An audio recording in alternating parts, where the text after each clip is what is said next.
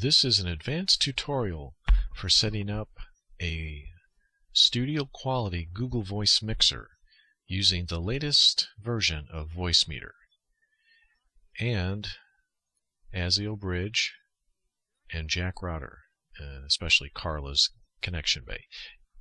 You'll need to be familiar with all these softwares and there'll be video links in the show notes in case you're not. Once you're up to speed on the basics of these, then we'll get started here. What we're doing with the latest version of Voicemeeter is sending all its input audio to Jack Router instead of the sound card. And then Jack Router is an ASIO system.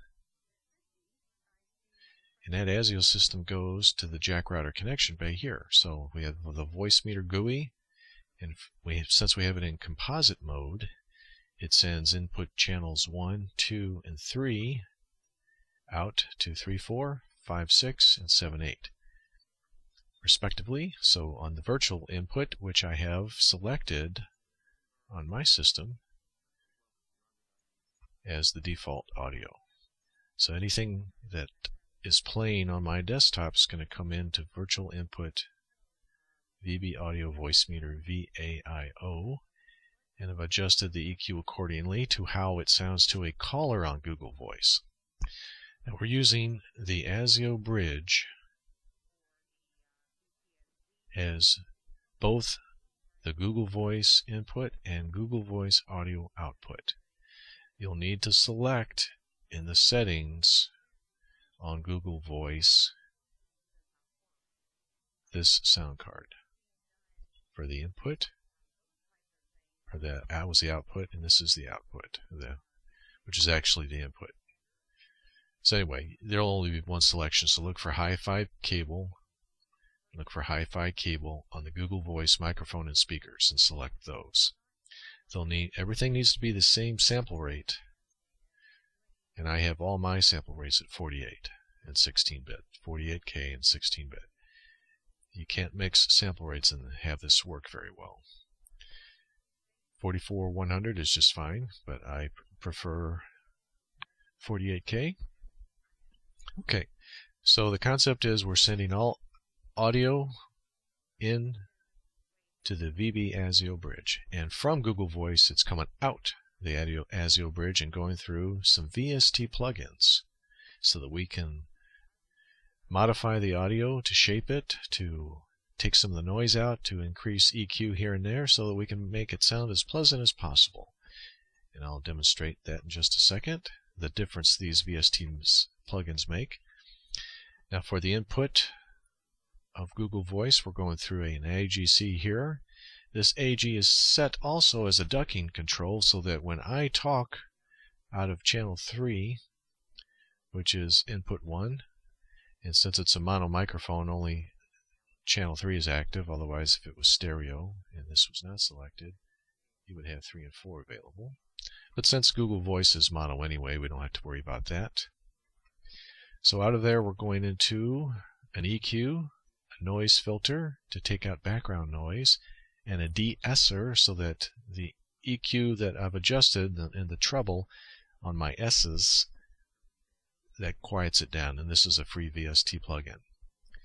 But first let's go to the Google Voice output and I'll show you the difference these VST plugins make. Now being able to use VST plugins with Voicemeeter really helps make the Google Voice experience a lot better. You, and it's almost professional level. Uh, if you can accept that you don't mind a little bit of artifacts from that noise filter. And there are probably many different uh, VST plugins that will do a similar job. These are just free ones that I found that seem to work okay for me. And in casual conversations, and I really enjoy talking to my dad, being able to share desktop audio with him and also hear him a lot better. He hears me a lot better. And with all these available inputs on Voicemeeter, I can send in two separate inputs here. So if I had a, a, a record album, a CD, or a tape that I wanted to share with my dad, it would come in here. And since it's mono, I have both 5 and 6 as separate inputs. I'm also using, since I'm using a USB mic on this first input, I'm not using the laptop mic, and since it's stereo, I have two other inputs that I could use for some other hardware inputs. But this will show you the basic concept with just the way it is. I don't have anything coming in right now on 5 or 6 or the laptop microphone, but I do have desktop audio here and my USB mic. So the, this will be and give you the basic idea. This should be fine.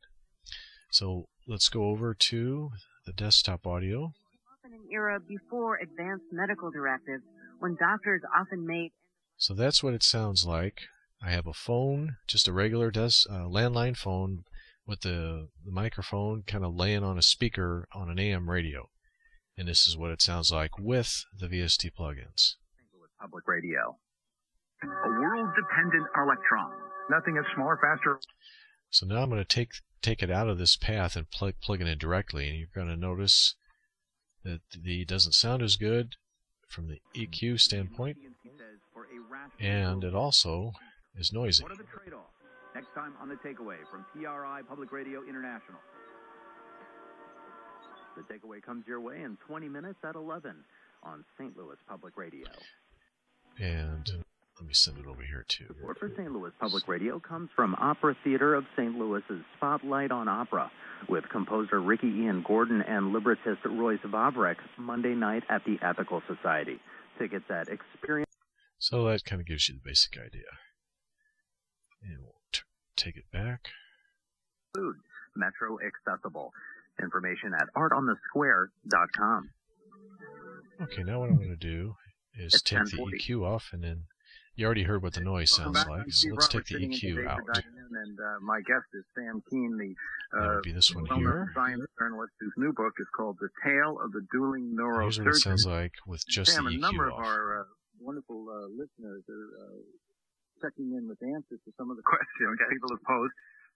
Okay, so you know notice probably quite a bit of difference there. When I took the EQ off, now we're going to take the compression expansion off.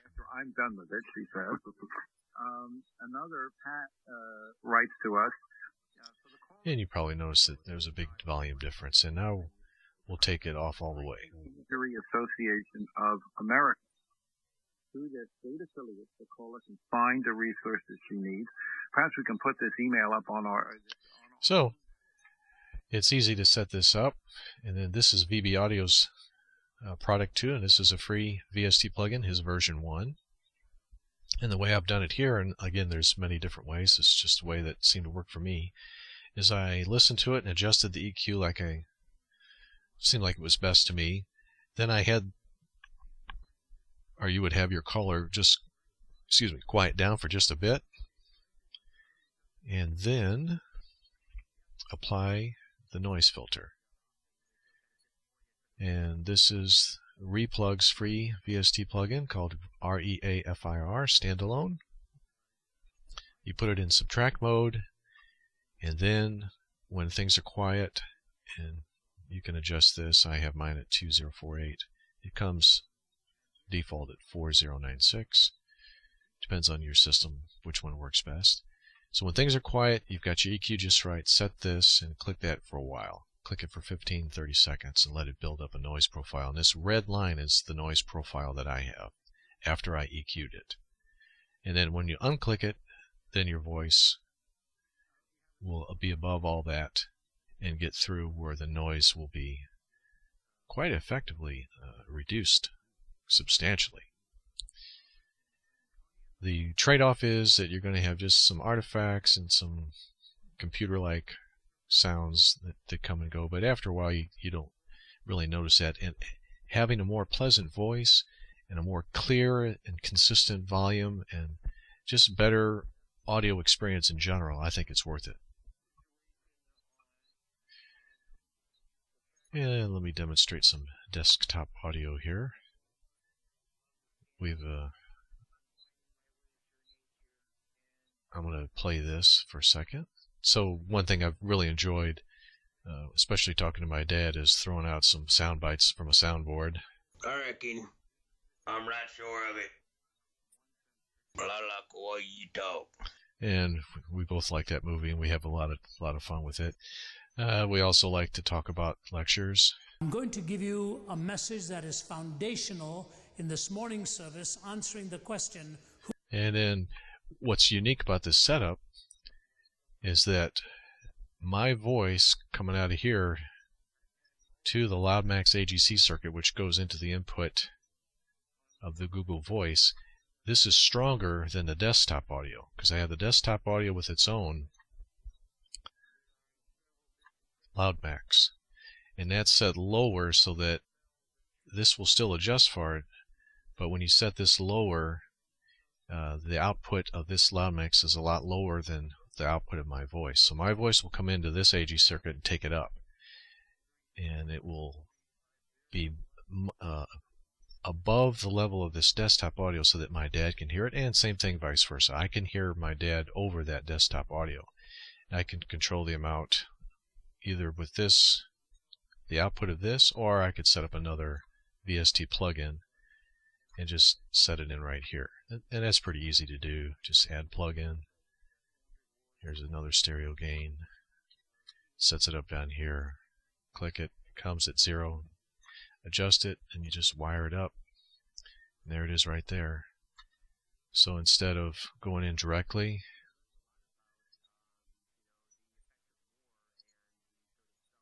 just wire it up this way and now that volume control will let me know how loud I want to hear it so let's play it again who is God and then in the second session, I will build upon this to uh, the uniqueness of Jesus. So it's very nice. Again, if you had an external MIDI controller, other, you can set up a lot of these things. And this has a, a MIDI learn and a little more freedom on it. I'm you not, click that uh, and, repeating myself.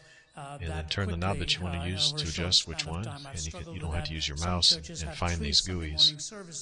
And one on Saturday night. Okay. Yeah, pretty much sums up the desktop audio. And once you get all this wired up and adjusted just like you want it, you can save the setup right there.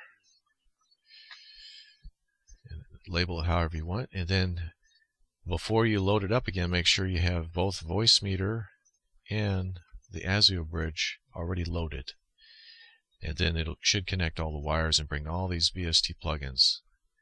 This is pretty easy to scan. Once you set up your folder and you tell in the configure where the paths are, so in VST, mine's right here, so it'll scan all those folders. This is the engine I'm using with Carla.